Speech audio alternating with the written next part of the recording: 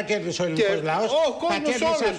Τις αγροτικές επιδοτήσει. Πλούτησε όλα την επαρχία. Αιτονίσιδε τα κερδίσανε. Και επίσης, ακόμα και σήμερα, όπως ξέρετε.